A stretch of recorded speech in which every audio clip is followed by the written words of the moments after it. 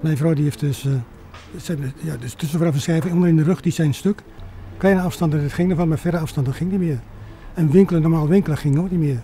De vorige auto, dan moest ik uh, mijn man echt met de duwrolstoel helpen. Dan moest ik hem in de auto helpen, de duwrolstoel in de kofferbak.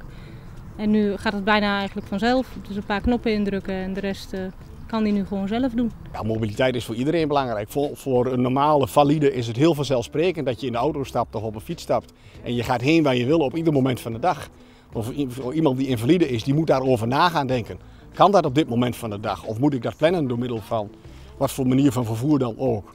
Dit, dit geeft wel een, een, een, een vrijheid aan je leven, een stukje meer zelfstandigheid.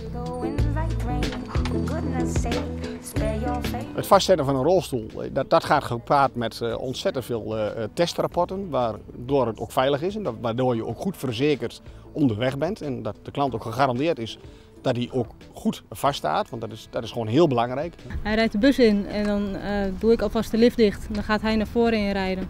En dan brandt er een groen lampje en dan uh, zit hij vast. En dan doe ik zijn gordel om en dan kunnen we weg. Ja, en dan zijn er verschillende mogelijkheden wat we voorgaand gezien hebben. Bij John en Marijke een, uh, een systeem waardoor de rolstoel zeer eenvoudig en snel vastgezet kan worden. Maar een railsysteem of een geïntegreerd gordelsysteem in een dubbele bodem, waarbij de gordels uit de grond poppen. Ja, dat behoort ook tot de mogelijkheden.